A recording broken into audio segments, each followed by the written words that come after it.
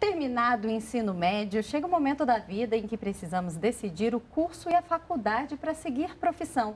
E nem sempre conseguimos ingressar numa universidade pública, o que não significa que precisamos desistir de nossos sonhos. Está aí o ProUni para comprovar isso. O programa Universidade para Todos oferece bolsas de estudo em instituições particulares. Quer saber como? Saiba mais.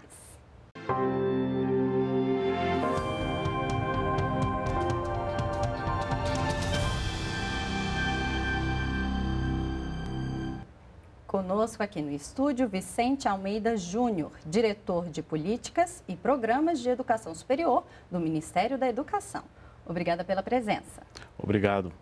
Então, Vicente, se o estudante não conseguiu participar do SISU, calma que ainda tem o ProUni, né? É verdade. O programa é, ProUni é um programa de sucesso que permite ao jovem que vem da escola pública ou da escola privada na condição de bolsista integral ter uma chance de acesso ao ensino superior. E quais são essas formas? Quais são os tipos de bolsas ofertados? São bolsas integrais e bolsas parciais de 50%. As bolsas integrais são destinadas aos estudantes que comprovam renda de até um salário mínimo e meio as bolsas parciais são destinadas aos jovens que comprovem renda de até três salários mínimos. Então, quem já tem curso superior não pode participar do ProUni. De fato, o ProUni é destinado para brasileiros sem diploma de ensino superior. E são dois processos seletivos? Geralmente, o Ministério da Educação publica duas edições ao ano, uma no primeiro semestre e outra no segundo. E o que acontece se o estudante comprovar que a renda dele aumentou? Ele tem que realmente comunicar ao MEC, ele perde a bolsa nesse caso? O Ministério da Educação orienta que esse aumento de renda não seja algo exorbitante, mas que se o estudante, porventura, consegue um estágio, alguma renda que justifique, junto com a, o percurso acadêmico dele no, no curso, na instituição, isso não é problema. Sempre estará sob análise da faculdade. Então tem a chance de não perder a bolsa, né? Tem, tem a chance, desde que não seja algo incompatível uhum. com a sua condição. Mesmo porque tem que dar oportunidade para realmente quem precisa. Né? Exatamente. Desde quando esse programa foi criado? O programa existe desde 2005 e até hoje o Ministério da Educação atendeu quase 2 milhões de jovens. Em que necessidade surgiu esse programa? O programa é um instrumento de acesso ao ensino superior, especialmente para os estudantes que frequentam a escola pública ou aqueles que frequentaram o ensino privado na condição de bolsista. Então, é um programa que procura conciliar mérito com necessidade social. E ele tem uma contrapartida, né? Afinal, as instituições que estão cadastradas, vinculadas ao ProUni, ganham uma contrapartida, né? As instituições que aderem ao programa têm a possibilidade de debitar alguns tributos em relação ao fisco. Para o estudante, a contrapartida exigida é o aproveitamento acadêmico, de 75%. Uhum.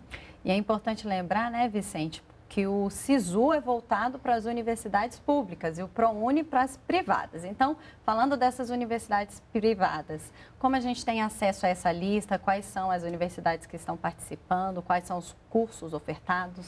A adesão das instituições é voluntária. Então, o estudante, se, ao entrar no site do Ministério da Educação, site prouni.mec.gov.br, terá acesso a todas as instituições, bem como os cursos participantes. Tem como ter uma noção de quantas instituições? Para você ter ideia da dimensão do programa, hoje participam mais de 1.400 instituições, o que equivale dizer mais ou menos 41 mil cursos. E geralmente os cursos giram em torno de quais matérias? Em todas as áreas, todas uhum. as áreas. Não existem específicas? Não, não existe. O ProUni possui ações conjuntas com outros processos seletivos, não é mesmo? É verdade. É bom lembrar que o Ministério da Educação oferece como a primeira oportunidade para ingressar na educação superior o SISU, destinado para as vagas públicas nas universidades federais. É, depois do SISU, nós temos o ProUni, que é destinado às instituições privadas, ofertando bolsas integrais ou parciais para o candidato. Vale lembrar, e é importante eu destacar isso no seu programa, que o ProUni oferece bolsa permanência para aquele estudante que frequenta um determinado curso integral. Mas aí também ele vai ter que comprovar renda e mostrar que tem essa necessidade. Bom, você já falou aqui mais ou menos quem pode participar, mas vamos para o serviço mais completo. Não só estudantes, mas também há outras possibilidades, né? Exato. Além daqueles casos que eu mencionei aqui, do estudante de escola pública, da escola privada na condição de bolsista integral, também podem participar professores da rede pública, pessoas com deficiência. E a única forma de se inscrever é pelo site. Exatamente. Todo o programa é montado em cima da internet. Então, a inscrição dos candidatos se dá por meio da internet. E ela é gratuita? Totalmente de graça, não há custo nenhum. Uma emissora da Rede Nacional de Rádio fez uma pergunta. Veja só. Sou Denise Tomazelli, da Rádio Cedro FM, uma associação comunitária e cultural de Rio dos Cedros, Santa Catarina. Qual o período de inscrição no ProUni? As inscrições para o ProUni ocorrerão no dia 6 de fevereiro até o dia 9 de fevereiro. Que documentação o estudante precisa portar para fazer a inscrição e depois que aprovado, para fazer a matrícula? Informações cadastrais que identificam o candidato, bem como o seu grupo familiar, informações a respeito do rendimento, além do seu próprio endereço. Agora, a documentação completa ele pode obter no site prouni.mec.gov.br. Está lá, lá todo o rol necessário para que ele comprove assim que for pré-selecionado. E ele utiliza a senha que ele tem do Enem, né? Exatamente. Para participar do programa, o estudante de posse de seu código de inscrição no Enem mais a sua senha, de, da edição de 2017, é importante frisar, uhum. né? Ele entra no site e faz a sua inscrição, sempre escolhendo dois cursos de sua preferência. O ProUni reserva cotas? O programa reserva cotas. As bolsas ofertadas pelas instituições, eh, nós reservamos um percentual de acordo com os dados do IBGE por estado. Uhum. E geralmente são quais? Essas bolsas são reservadas para pretos, pardos e indígenas. Mais uma rádio participou do programa, vamos conferir. Olá, sou Maicon Santos, da Rádio Fluminense de Niterói, no Rio de Janeiro. Gostaria de saber se o estudante pode ter outra bolsa se conseguir a bolsa parcial do ProUni. Para quem conseguir a bolsa parcial, a possibilidade existente é de financiamento. Aí precisará concorrer no FIES, que uhum. é o uhum. Programa de Financiamento Estudantil do Ministério da Educação. Então há essa possibilidade. Há essa né? possibilidade de financiamento. Como saber os resultados da pré-seleção do programa? Os resultados para os candidatos pré-selecionados serão divulgados pelo Ministério da Educação dia 14 de fevereiro. Para acessar essa informação, basta entrar no site também, do MEC ou das próprias universidades. Isso para a primeira chamada, né? Exatamente. Tem a segunda chamada também. O Ministério da Educação proporciona duas chamadas sucessivas para os candidatos. Então, a primeira chamada é 14 de fevereiro e a segunda chamada, o resultado sairá no dia 2 de março. E ainda tem a lista de espera. Né? Exatamente. Após as duas chamadas, o candidato deve manifestar interesse pela lista de espera. Isso ocorrerá entre os dias 16 a 19 de março. Tivemos ainda mais uma participação, a Virgínia Liberato, de Caldas Novas, Goiás. Estudei em escola particular, mas tenho renda baixa. Posso participar do ProUni? Somente na condição de bolsista integral. Hum. Este é o principal critério para o estudante que frequentou a escola particular. E a gente tem que lembrar aqui, né? Quem não passou na primeira chamada ainda tem chance de ir para a segunda chamada. Também não passando na segunda, vai para a lista de espera. Mas também, se não der o certo, há possibilidade, alguma outra possibilidade, guarda essa nota para o próximo processo seletivo. Essa que é a vantagem de participar do Enem na edição 2017. Que o candidato ou estudante que fez o Enem 2017 obteve uma nota mínima de 450 pontos e não zerou na redação, ele pode concorrer no SISU, não conseguir no SISU, ele tem a oportunidade do ProUni, uhum. e no uhum. ProUni são duas chamadas, após as duas chamadas, a manifestação na lista de espera. E, por fim, se ele, porventura, não conseguir o ProUni, ainda uma outra possibilidade, que é o novo FIES. E há uma relação né, do ProUni com o FIES, afinal, os dois envolvem instituições particulares.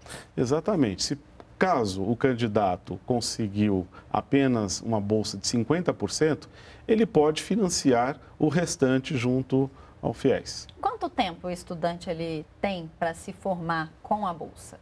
Duas vezes o período de integralização do curso. Então não adianta ficar enrolando demais porque tem um período em que ele deixa de ganhar a bolsa. Exatamente. E lembrando que ele precisa ter o aproveitamento acadêmico de 75% uhum. mínimo. Há uma fiscalização, uma avaliação do desempenho acadêmico dele? Isso é feito pela própria instituição. Tá. Há uma comissão local que acompanha o desempenho e o rendimento dos estudantes. E essa comissão presta esse relatório para o MEC ou não há mais a participação do MEC, uma vez que ele ingressou já na faculdade, né, na universidade? Ela informa, ela informa para o Ministério da Educação. Há uma frequência de informações? Geralmente por semestre, por edição. Tá. A bolsa ela pode ser levada pelo estudante para uma outra universidade, caso ele não tenha gostado muito daquela universidade específica e ele queira mudar mantendo o curso. Ele pode levar essa bolsa ou ele vai ter que fazer de novo? Essa transferência é importante dizer que depende do critério de cada instituição. Primeiro, se ela tem vaga. Segundo, se ela aprova o currículo do qual o estudante é egresso. E lembrando, não precisa fazer o vestibular da universidade para poder concorrer à Bolsa do ProUni, né? Para o ProUni, basta participar numa Enem edição de 2017. A instituição não pode cobrar o vestibular próprio. Uma coisa também que é importante frisar, que você falou aqui, Enem 2017. As notas dos outros Enem, se não foram aproveitadas anteriormente, não podem ser aproveitadas agora, né? Para, Tem que ser do último Enem. Para a edição deste ano, deste semestre, do ProUni, o que vale é o Enem 2017. O que, que seriam as vagas remanescentes? As vagas remanescentes são aquelas vagas que, porventura, não foram ocupadas durante o processo regular. Uhum. Então, o Ministério da Educação abre uma nova janela de oportunidades. Uma vez que essas vagas não foram ocupadas, nós vamos abrir um edital próprio, específico, contendo todas as regras para que o estudante possa se candidatar. E as regras para essa candidatura é a mesma do, do edital do ProUni? Exatamente. Então, participação no Enem, nota de 450 pontos, não zerar na redação, além de comprovação da condição social. Essas vagas remanescentes também vão valer para o FIES ou geralmente é só para o ProUni? as vagas remanescentes somente para o ProUni. Embora no FIES, nós temos também esse processo. E no SISU também? No SISU também. No SISU é lista de espera. Uhum. Né? A diferença é essa. O único processo que não tem remanescente é o SISU. Bom, o programa você falou aqui, né? Existe desde 2005. Quais são os balanços desse período? O ProUni é um programa de muito sucesso como eu falei, atendeu até hoje quase 2 milhões de jovens. É um programa voltado para quem é da escola pública, então valoriza a escola pública. É um programa que combina critério social com meritocracia, porque ele precisa atingir no mínimo 450 pontos. É um programa de dimensão uh, bastante complexa, porque envolve muitas instituições, mais de 1.400 instituições. Uh, hoje, para você ter ideia, foi um marco histórico no programa Oferta de Vagas. Mais de 242 mil bolsas ofertadas. Maior até agora desde a existência do programa. Vicente, muito obrigada pela participação. Eu que agradeço a participação e a oportunidade.